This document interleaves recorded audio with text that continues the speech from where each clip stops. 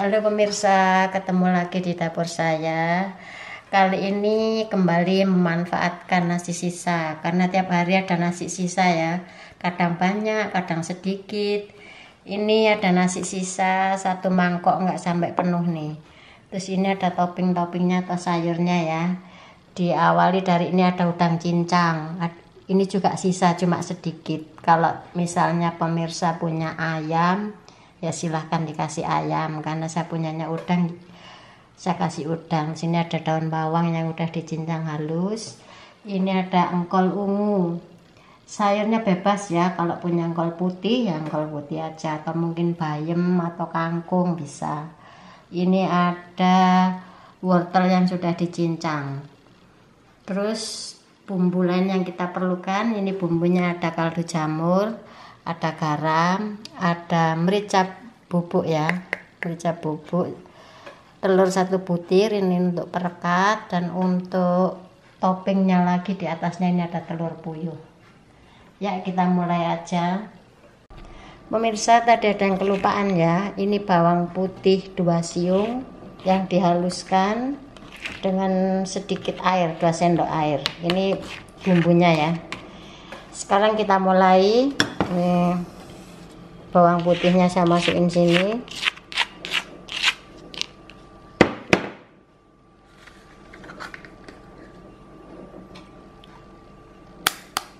Telur telurnya kita buka ya.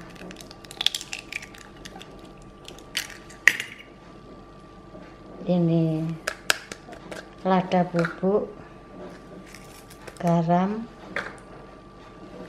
kaldu jamur.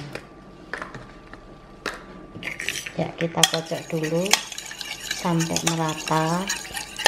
Setelah merata nanti semua bahan kita masukkan.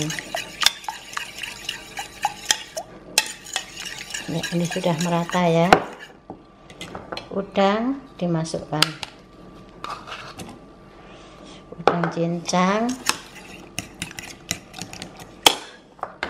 daun bawang masuk. Engkol ungunya masuk.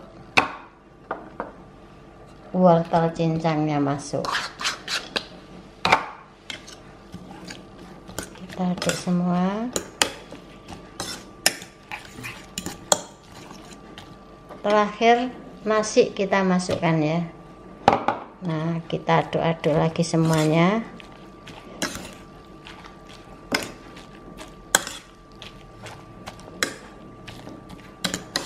setelah merata baru kita masak. Saatnya memasak. Pakai cetakan seperti ini ya.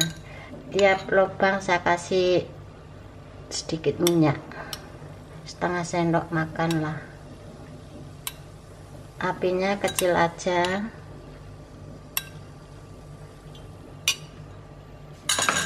Setelah itu minyak kita ratakan ya sampai ke sisi-sisinya biar nanti pas dicabut nggak lengket.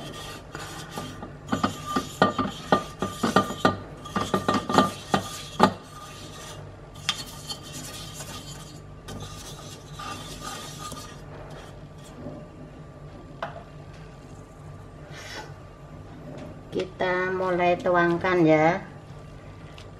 Saya ambil satu sendok satu sendok aja. Mulai dari samping. Soalnya kalau tengah biasanya cepat matang jadi dimulai dari pinggir aja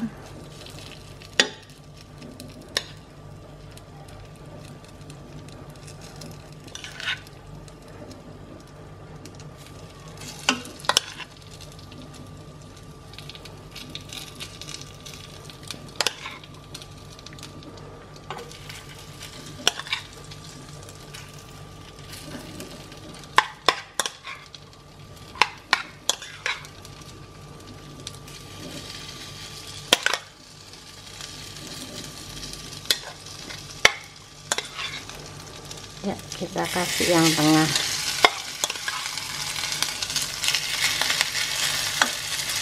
Apinya mau saya atur dulu dikecilin.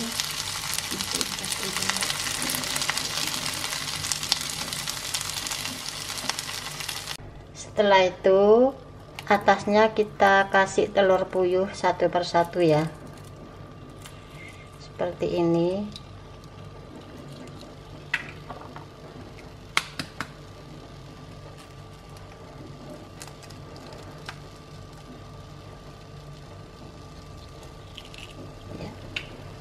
sekarang kita tutup masaknya pakai api kecil ya sampai semua matang Nah pemirsa setelah telurnya matang tandanya ini udah matang ya telurnya. Nah ini bisa kita angkat. Nih. Tadi ini sebagian udah saya angkat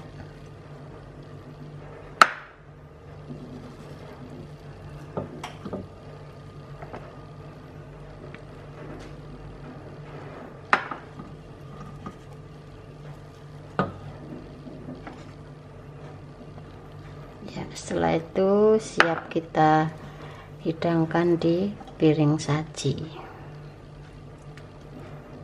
Ya ini dia sajian nasi sisa yang sangat lezat sekali. Selamat mencoba jangan lupa like dan subscribe